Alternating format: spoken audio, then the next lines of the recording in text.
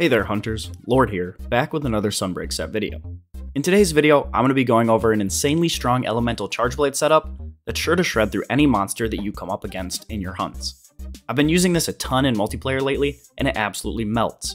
This set requires no Qurious augments and a very easy to obtain charm. This way you guys can make it with no hassle, and then customize it and upgrade it to your own personal liking. Let's go ahead and jump right into it. Don't forget guys, if you do find yourself enjoying the video or the set, be sure to leave a like down below and subscribe if you're not already.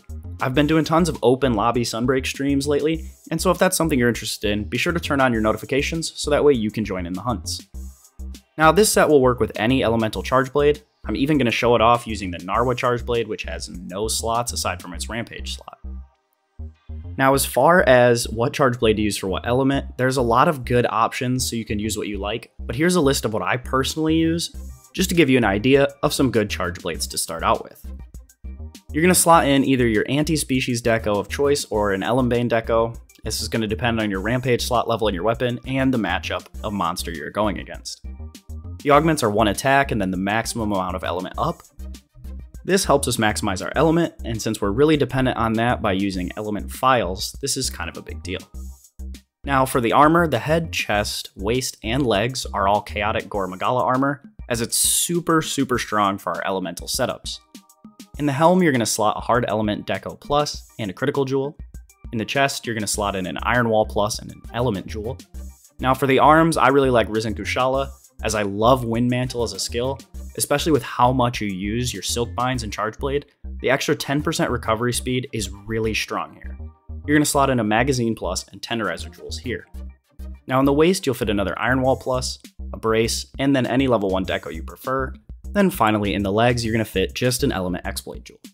For your talisman, all that you need is Weakness Exploit 2 with a single level 2 slot. You're going to fit this in with a final level of Element Exploit. With the newest charm melding, I'm sure you guys all have at least this or better, so should be pretty easy for you to get. So now that your armor and decorations are all set up, you should have to start Crit Eye 6, Element Attack 5, Guard 4, then Crit Boost, Weakness Exploit, Coalescence, Element Exploit, and Strife all at level 3, followed by Resentment, Load Shells, and Burst at level 2, then Flinch Free, Bloodlust, Berserk, Wind Mantle, and then your level 1 deck of choice, all at level 1. Now since this is a no augment set, here are my recommendations for skills that you can add to improve the set even further, whether that be with your augments, or if you get better slots, or if you pick a weapon that has really good slots, these are some things to look out for. Now first and foremost, I would definitely prioritize either Rapid Morph 3 or Wirebug Whisper 3. Rapid Morph 3 is a good damage boost and really speeds up your combos, I would definitely recommend this. And then Wirebug Whisper 3 will really increase the speed up of your Wirebug recovery, so that way you can keep spamming counter peak performance. You could also look to increase Resentment to levels 3 to 5, getting an attack boost levels 4 to 7, get your guard up to level 5 or your burst up to level 3. If you're running ice or fire, you could try to slot in Kushala or Teostra Blessing.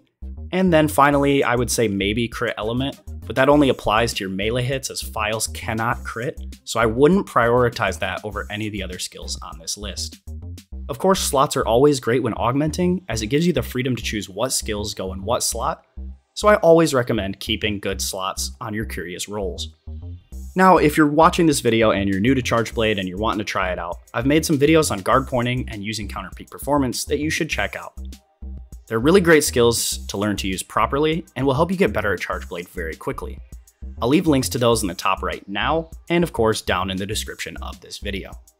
So that's going to do it for this one, guys. Thank you all so much for watching. Again, if you did enjoy, be sure to leave a like down below, as it's a totally free way to support the channel and the content that I create. If you're new here, or if you find yourself coming back to my videos often, be sure to subscribe for more Monster Hunter content. You can always change your mind later if you decide it's just not for you. With all that said, guys, I hope you all have a great day and happy hunting.